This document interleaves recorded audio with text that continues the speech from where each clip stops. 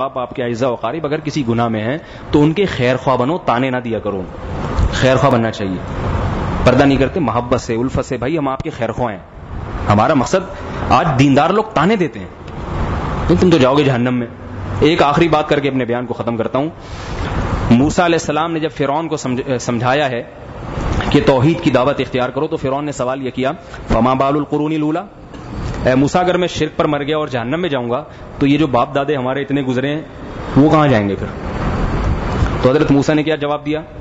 علم عند ربی فی کتاب۔ ان کو جہاں جانا ہے، وہ سب اللہ کو معلوم ہے۔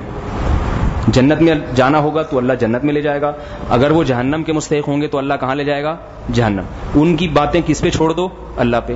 لا یغل ربی، سورہ توحا کی آیات ہیں۔ لا یغل ربی ولا ینسا۔ میرا رب نہ غلطی کرتا ہے، نہ بھولتا ہے۔ غلطی کا مطلب یہ کہ وہ اگر جنت کے لائق ہوئے تو جہنم میں بھیجنے کی غلطی نہیں کرے گا۔ اور اگر جہنم کے قابل ہوئے تو جنت میں بھیجنے کی غلطی نہیں کرے گا۔ نمبر دو، لا ینسا، بھولتا بھی نہیں ہے کہ اصل میں تو جنت کے لائق تھے۔ اور اللہ کو بھی پتا تھا لیکن بھولے سے دھاندلی ہو گئی کوئی گڑبڑ ہو گئی، اس کا ادھر بھیج دیا، ادھر والا ادھر بھیج دیا۔ ایسا بھی نہیں ہو سکتا۔ کیسا پیارا جواب دیا نا؟ جواب یہ دیا کہ فضول بحث میں پڑھنے کی کیا ضرورت ہے؟ میں تجھے بات سمجھا رہا ہوں۔ تو تو میری بات سن اور تو اپنی فکر کر۔ ان کی فکر چھوڑ دے جو دنیا سے چلے گئے۔ جو زندہ ہیں، ان کی فکریں کرو، ان کو دین پر لانے کی کوشش کرو، ان کی فکر کرو۔ فضول بحثوں میں نہ پڑھو۔ تو اللہ تعالی ہم سب کو دین پہ چلنے کی توفیق عطا فرمائے اور دینداروں سے جو دیندار بننا چاہتے ہیں، ان سے جو میں نے اصل جو بات میں عرض کرنا چاہ رہا تھا کہ دین پہ مضبوطی تو بہت دکھائیں، لیکن لب و لہجہ بہت شائستہ، بہت نرم، جس سے خیر خواہی جھلک رہی ہو۔ جیسے ابراہیم علیہ السلام کا لب و لہجہ۔ لوگ یہ نہ سمجھیں کہ یہ لٹھ لے کے جو ہے نا، میں جہنم میں پھینکنے پر تم سب جاؤ گے جہنم میں، صرف میں کہاں جاؤں گا؟ جنت۔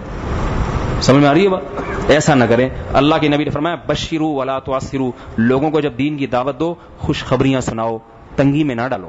دیکھو، دین کی دعوت کا ایک طریقہ یہ بھی ہے تو ان کو بتایا جائے نماز پڑھنے پر یہ ملتا ہے۔ دین پر آؤ گے، یہ ملے گا۔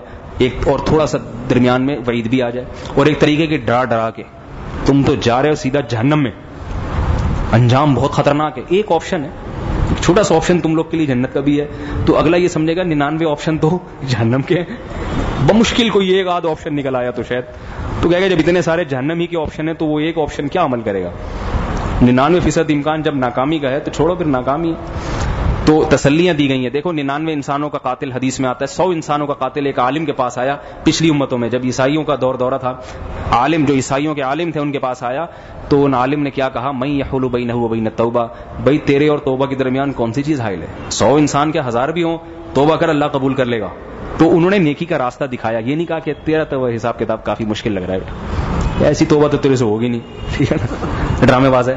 جھوٹ بول رہا ہے کہ اب توبہ توبہ کرنی تھی، دو چار کے بعد کر لیتا۔ سو کے بعد اب تو توبہ کی باتیں کر رہا ہے۔ ہمیں بیوقوف بنا رہا ہے۔ بھاگ یہاں سے۔ صحیح حدیث ہے یہ، بخاری اور مسلم کی۔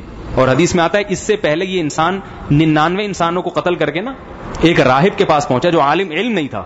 ان کے پاس گیا، کہنے لگا، میں نے ننانوے کو قتل کیا ہے۔ کیا میری توبہ قبول ہو سکتی ہے؟ تو وہ چونکہ عالم نہیں تھے، صرف عبادت گزار راہب تھے، انہوں نے کہا، نہیں، ننانوے کو ایک، دو، تین، چار ہوتا، کوئی بات بھی ہے۔ ننانوے کو تھوڑی ہوگی۔ تو اس نے کہا جب ہونی نہیں ہے تو سینچری پوری کیوں نہ کروں میں؟ جانا ہی جب جہنم میں ہے تو کوئی ریکارڈ تو قائم کر کے جاؤ۔